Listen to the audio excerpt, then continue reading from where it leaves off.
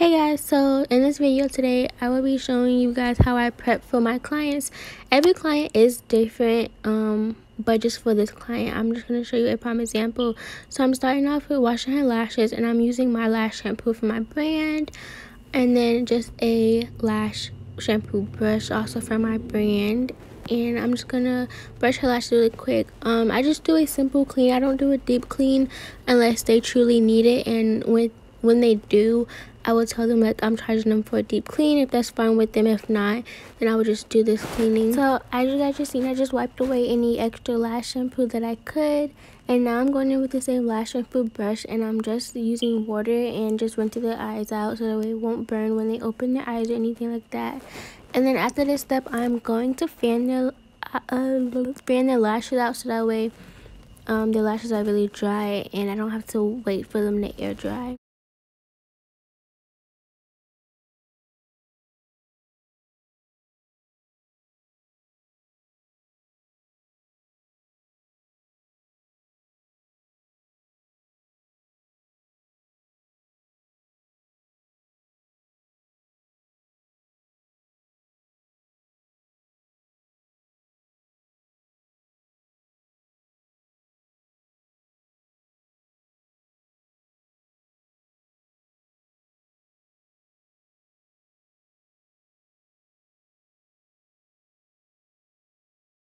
For everyone wondering why the tape was on my hand, um, it is just because I put it on my hand a few minutes before she arrived, just so that way it won't be so harsh when I pull the tape off of her eyes. Um, but I'm just applying them on the bottom lash line and just to cover up the lashes, that way they won't peek through and I won't lash them by accident.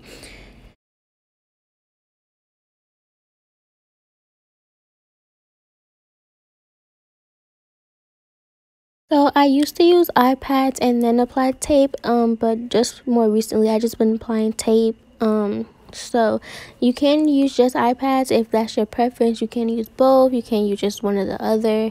Um, but right now I'm just preferring this tape.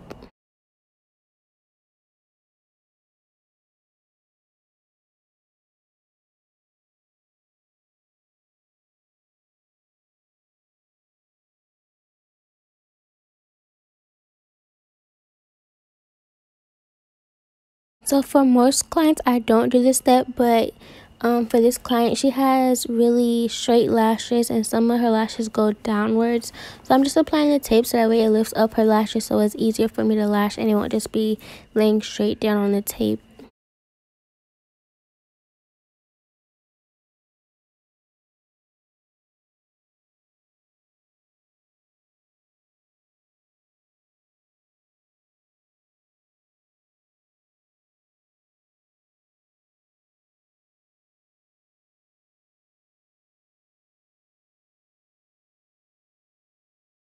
So for this step, I'm mapping out her lashes and I'm just using a fine tip Sharpie. You could really use any marker. It doesn't have to be a Sharpie or a fine tip.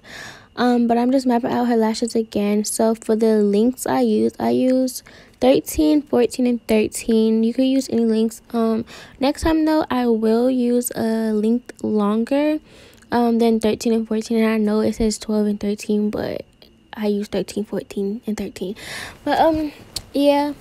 I just use different mappings for almost all my clients. I never really use the same mapping, um, or at least the same links in the mapping, I should say. But every client is different, so don't always use the same link because every client has different lash growth, has a, has a different thickness and stuff like that. So you just have to kind of adjust everything to your client's lashes.